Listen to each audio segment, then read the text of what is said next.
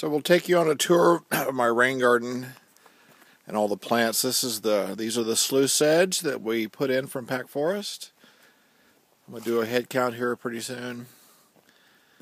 This is the other part of the forest. And a little bit more slough sedge in four inch pots. Okay, rain garden starting to get really popping. These are all the plants I got from your house blue oat grass, some blue oat grass from uh, Pack Forest, famous bird.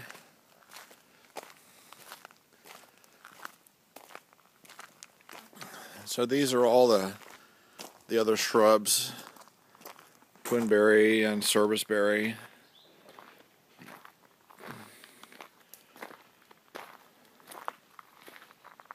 Oregon ash and other things. Uh, those will all go in the meadow.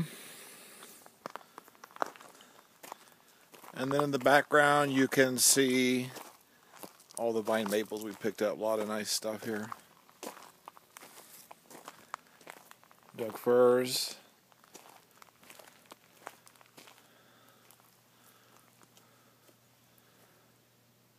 All the sword ferns really looking nice. It's starting to put out a lot of new leaves. Ocean spray in the background. Twinberry, more Doug fir. The lilies that you gave me. Okay, nice. All the slough sedge.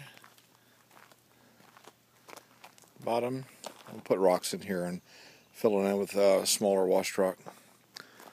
Looking nice.